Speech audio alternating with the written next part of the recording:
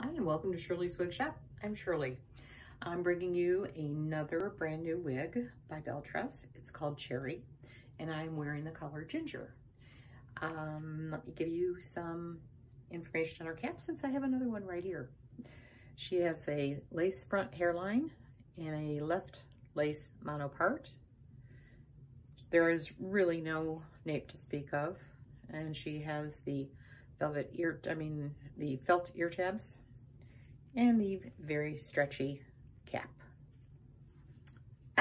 And as I said, I'm wearing the color ginger. Now, if I step back, to me, it looks it, almost black. But in reality, it's a very dark brown with some beautiful highlighting. I hope you can, I think you're getting a good, good version of the color. It's just gorgeous. It's a very pretty color. I don't normally wear dark wigs, but, and I would have to put curls in this too. But anyway, it's a beautiful color, ginger, very short bob. Let me give you some information on her. again, it's a Belletress wig, heat friendly. It has a one inch nape, very short back. I'll, I'll do a spin for you. And overall, it's one and a half um, to seven inches. Weighs 2.8 ounces and fits an average size person's head, average head. Let me do a spin.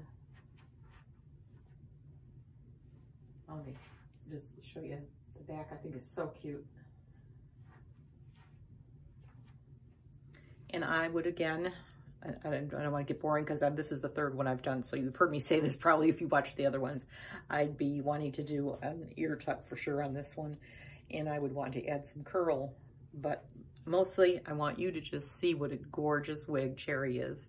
She's kind of like an asymmetrical bob. I believe they refer to it as, let me see,